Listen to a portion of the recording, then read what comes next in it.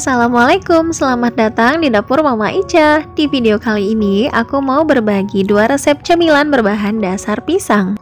Rasanya enak, bikinnya gampang, bahan-bahannya juga mudah didapat, dan yang pasti cocok banget dijadikan untuk ide jualan. Yang penasaran dengan resepnya, simak video ini sampai habis ya. Tapi sebelum nonton, jangan lupa subscribe dan pencet tombol loncengnya biar gak ketinggalan video menarik lainnya dari aku. Yang pertama, siapkan 4 lembar roti tawar. Di sini aku pakai roti tawar yang ada kulit pinggirannya. Kalau teman-teman gak suka, boleh pakai roti tawar kupas. Selanjutnya, roti tawarnya boleh kita potong-potong kotak atau boleh juga digunting.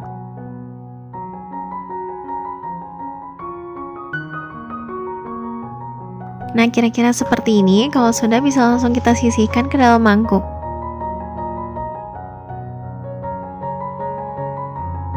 Selanjutnya siapkan satu buah pisang. Di sini aku gunakan pisang raja, boleh juga pakai pisang lain ya yang pasti yang rasanya manis. Kemudian pisangnya dipotong-potong, lalu dipotong-potong lagi menjadi bagian yang lebih kecil.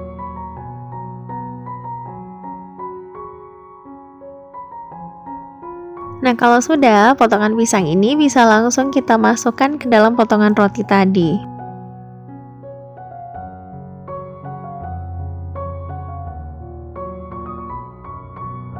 Selanjutnya di wadah lain pecahkan 2 butir telur.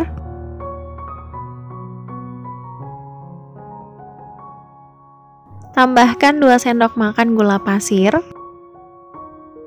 Kemudian ini dikocok-kocok sampai gulanya larut.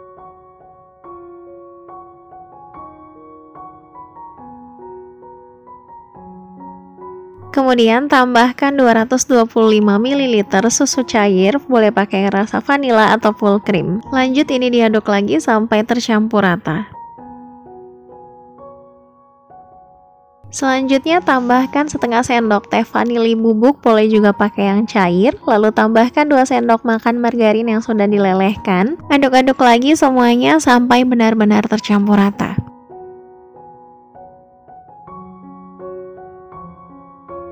Nah kalau sudah ini bisa langsung kita tuang ke dalam potongan roti dan pisang.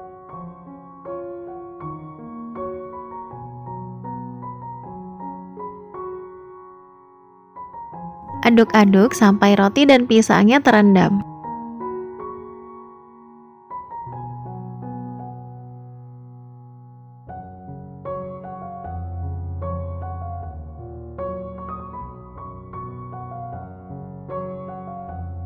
Selanjutnya tuang adonan roti tadi ke dalam cetakan. Di sini aku menggunakan cetakan aluminium foil yang ukuran 100 ml. Satu resep ini bisa menghasilkan 9 cup ya. Selanjutnya tambahkan secukupnya kayu manis bubuk. Nah, ini kalau bisa jangan di-skip ya karena ini yang bikin aromanya lebih wangi dan rasanya lebih spesial. Lalu tambahkan juga topping keju parut.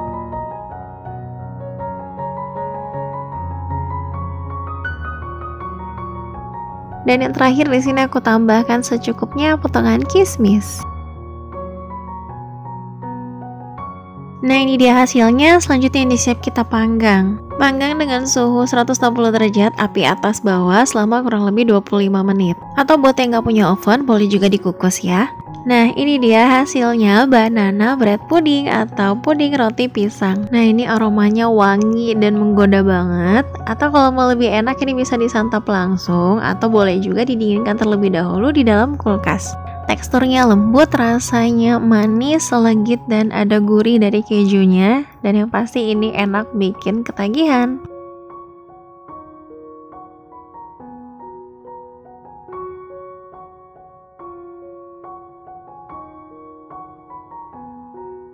Yang pertama, siapkan 13 buah pisang uli, boleh juga diganti dengan jenis pisang lain.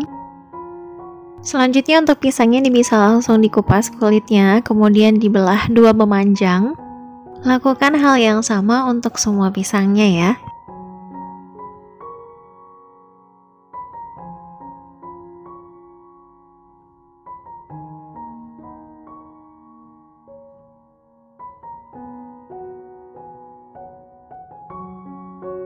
Nah, kira-kira hasilnya seperti ini ya.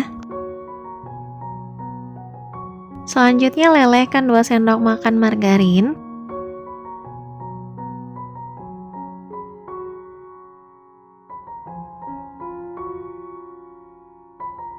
Kemudian masukkan semua potongan pisang.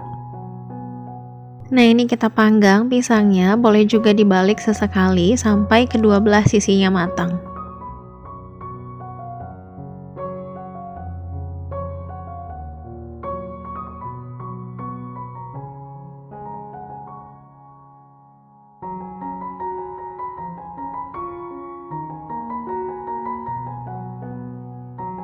Nah, kalau pisangnya udah kecoklatan seperti ini, bisa langsung kita angkat.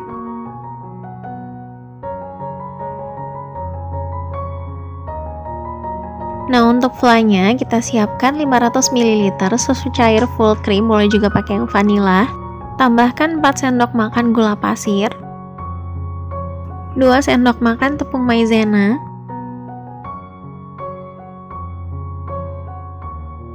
Selanjutnya tambahkan 5 sendok makan kental manis.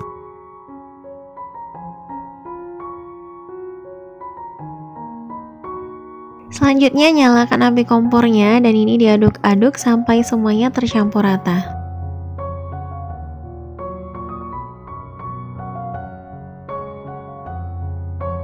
Kemudian tambahkan 1 sendok makan margarin Aduk-aduk kembali dan masak hingga flanya mengental.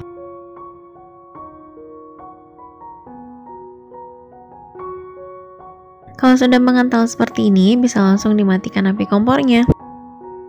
Tuang flanya ke dalam cup tin wall. Di sini aku gunakan cup ukuran 300 ml. Kemudian susun atau tata pisang di atas fla. Untuk banyaknya bisa disesuaikan. Di sini aku isi cukup 5 potong aja.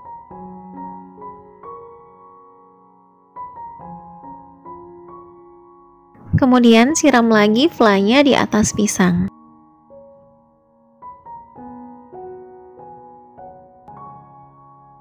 Selanjutnya tambahkan secukupnya keju parut dan juga potongan kismis.